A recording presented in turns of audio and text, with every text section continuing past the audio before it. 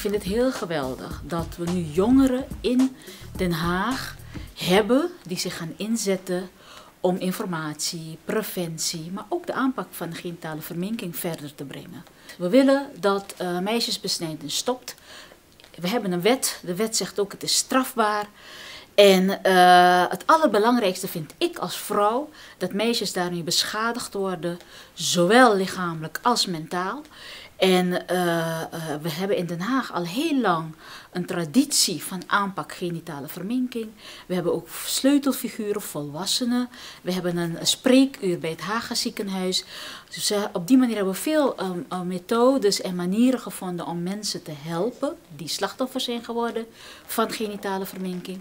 Maar wat heel mooi is, is dat uit de groepen met nu ook jongeren uh, zich als ambassadeur willen maken. Nou, vandaag was dus de eerste training van uh, mevrouw Zara van EFSAN.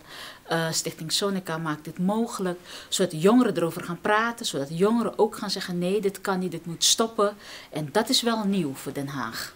De reactie was verdeeld. Hè? Je zag dat een aantal deelnemers, meisjes, die zeiden van ja, maar het gebeurt nog steeds en het moet van de man. En, dus, uh, en je zag ook dat de jongens, en dat ben ik ook blij, dat jonge jongensambassadeurs zijn, die zeiden ook van ja, het was eigenlijk altijd heel vanzelfsprekend dat het voorkomt en dat het plaatsvindt.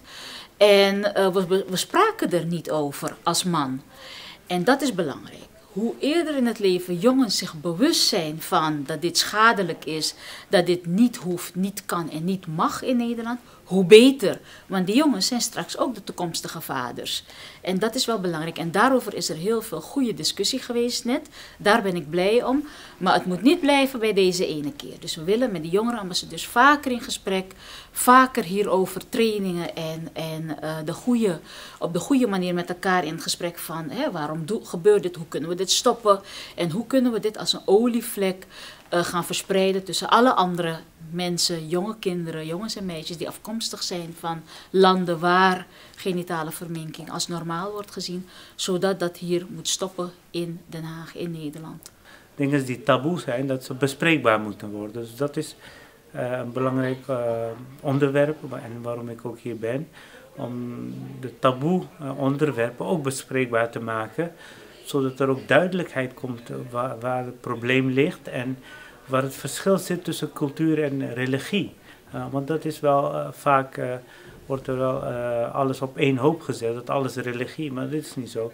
Dus mij, een van de dingen is om tenminste de taboe onderwerpen te bespreekbaar maken. Het verschil tussen cultuur en religie een heel belangrijk onderdeel is. En hoe we beter moeten communiceren. Hè. Vandaag heb ik het veel over communicatie gehad. dat dat ook een heel belangrijk onderdeel is. De jongeren van vandaag zijn morgen de toekomst. Morgen en overmorgen zijn ze de vaders. Dus ik denk dat het een goed begin is. Hè? Dat we ook de jongeren heel veel bij betrekken.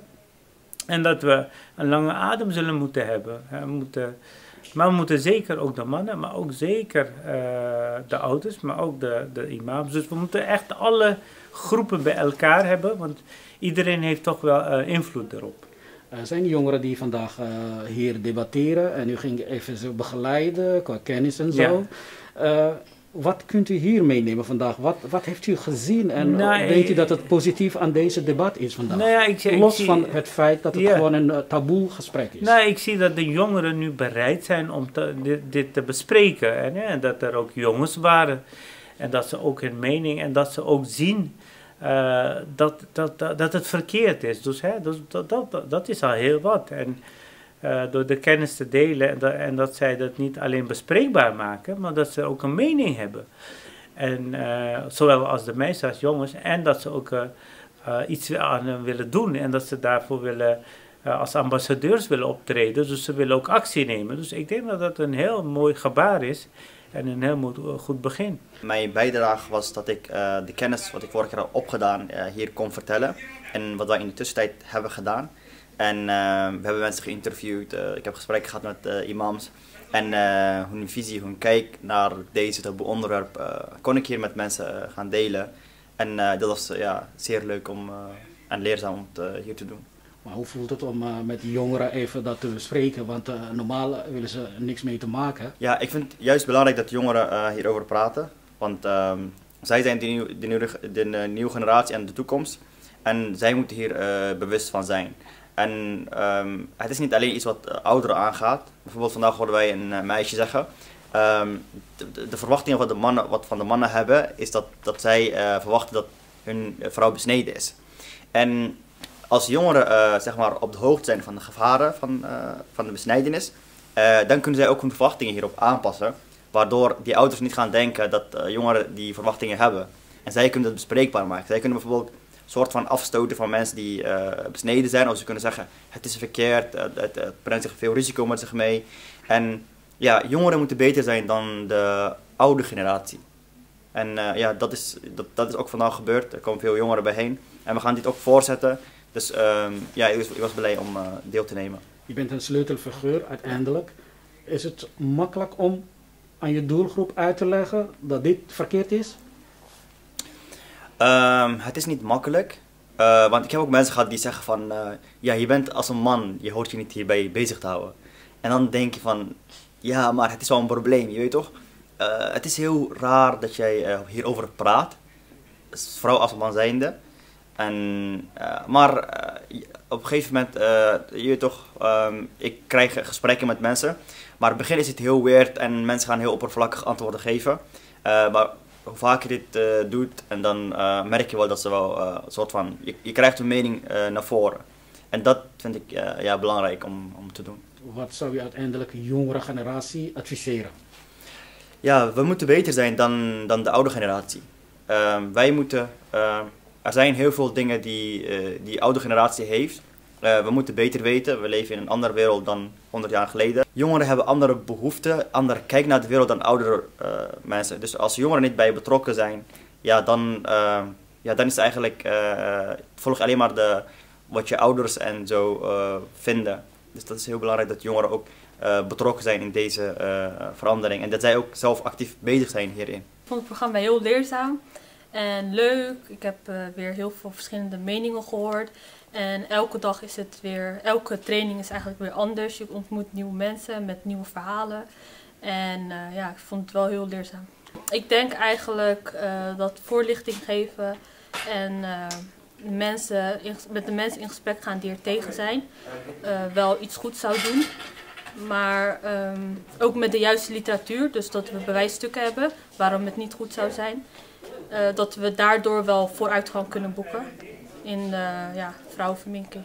Heb je eerder gehoord over dit onderwerp, dat vrouw besneden wordt, of dat nog steeds gebeurt? Ik had wel een voorlichting gehad daarvoor in het verleden, uh -huh. maar niet echt zo uitbundig. Het was heel kort. Oké. Okay. En wat is jouw mening hierover? Ben je voor, tegen? Nee, ik ben echt tegen, zwaar tegen. Islamitisch gezien is het ook niet toegestaan. Uh -huh. Dat wordt verward met uh, cultuur en islam. -huh. Ik zou het bijvoorbeeld nooit doen voor mijn kinderen. Voor ik zelf zou het ook nooit doen. Oké. Okay. En hoe vind jij dat wij uh, de ouderen hierover op de hoogte moeten stellen dat dit niet goed is? Door, te, te, uh, door iemand te laten spreken die het heeft meegemaakt. Dus niet uh, een Nederlander bijvoorbeeld, want die heeft daar... geen ervaring mee? Nee, precies. Die heeft geen ervaring daarmee, maar iemand die uit hetzelfde land komt. ik heb vandaag een training gevolgd van meerdere mensen over VGV. Gewoon luisteren, luisteren het oor, discussiëren met mensen over het onderwerp. En dat was mijn bijdrage vandaag. Oké. Wat vond je het, uh, van het idee van het bestaan van vrouwelijke besnijdenis? Ja. Wist, wist jij hiervoor of was dit nieuw voor jou? Um... Uh, het is niet nieuw voor mij. Ik ben, laten zeggen, ik ben Somalisch opgevoed. Mm -hmm. Dus ik weet, ik weet waar het over gaat en zo. Mm -hmm. En uh, sinds vroeg af aan wist ik al dat het iets wat heel slecht is. En dat laat zeggen dat het niet hoort in onze samenleving. Mm -hmm. En dat het een erg taboe onderwerp is dat het nog steeds in onze samenleving gebeurt. Oké. Okay. Uh, je, je, zit ook in de uh, jongere ambassadeur mm -hmm. hier. Um, dit, ga, dit, gaat, uh, zeg maar, dit wordt vervolgd. Ja. Um, wat ga jij meenemen hierin? De training van vandaag, wat je vandaag hebt meegekregen. Dat communicatie key is hierin. Dus dat we meer moeten communiceren met elkaar. Mm -hmm. En meer mensen moeten vertellen waarom het onderwerp zo slecht is. Want ik weet dat heel veel, laten zeggen, jongeren dit zien als iets goeds. En juist goed in de cultuur. En het voor de geloof beter is. Maar wij als jongeren horen, laten zeggen, het voortouw te kunnen nemen. En moeten zeggen dat het niet kan. Ja, sure. Uh, mijn laatste vraag. Mm -hmm. um, de ou ouderen zijn heel erg moeilijk om uh, ja. dit onderwerp met hem te bespreken. Ja. Um, hoe denk jij dat wij dit bespreekbaar kunnen maken? Hoe, hoe, hoe denken we dat wij bewustbaarheid kunnen creëren bij de ouders om hierover te kunnen praten? Uh, bij de ouderen. Kijk, laat zeggen, ik denk niet dat het bij de ouderen moet laat zeggen, zijn om dit laat zeggen, te veranderen in onze cultuur en onze samenleving. Dit is echt dat het belangrijkste is dat we met de jongeren aan de slag gaan. Want de jongeren die gaan de, komende, die gaan de volgende generatie vormen. Mhm. Zij zijn de personen laat zeggen, die later gaan bepalen: hey, wil ik mijn kind besnijden, uh, bes, uh, wil ik mijn dochter besnijden of niet besnijden? Mhm.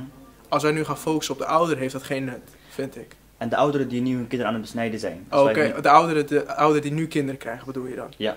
Ja, dat is laatst dat is communicatie. Dan moeten we vertellen wat er allemaal slecht, wat er allemaal kan gebeuren naar aanleiding van vrouwenbesnijdenis. Dat je, uh, dat je psychische problemen kan krijgen, medische problemen kan krijgen, die nog heel veel jaren verder last van zullen hebben.